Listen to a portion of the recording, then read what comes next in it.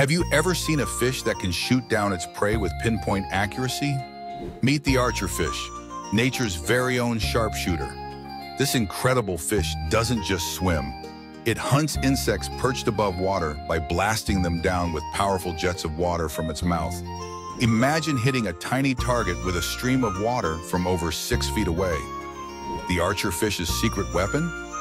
Its uniquely shaped mouth and a rapid flick of its gill covers, which create a precise high-speed water jet.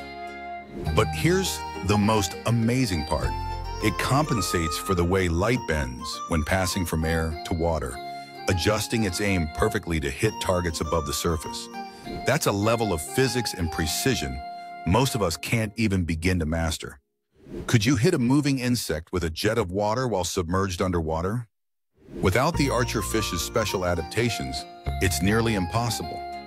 Each shot is carefully calculated, and the fish often practices on floating debris before going after real prey.